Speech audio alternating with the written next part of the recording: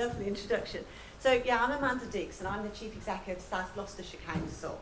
Um, and, and it's my absolute privilege to welcome you tonight to the Robots and Society Night on behalf of South Gloucestershire Council, but actually more importantly on behalf of the four councils that make up our fabulous city region and our local enterprise partnership. And together it's our job uh, to make sure that economic development and regional growth and business growth happens in our region. Um, we're absolutely delighted that our region is playing host to such an important role in hosting the European Robotics Week. So thank you for, for spending your time with us. Uh, as many of you in the room will know, we have a very, very diverse uh, economy. We have small rural businesses, we have medium-sized enterprises, and we have world-leading companies, absolutely vital to the national economy.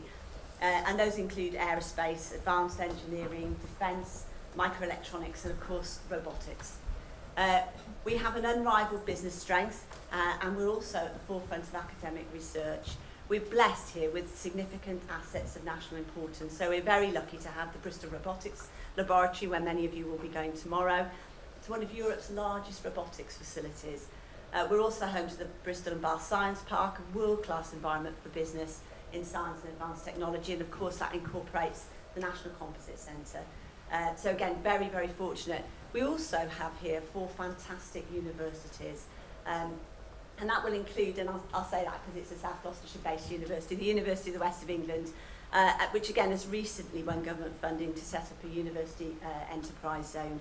And again, that's about specialising in robotics, medtech and other related high-tech areas. So excellent education, research provision uh, and a really healthy economy, uh, the bedrock for future success.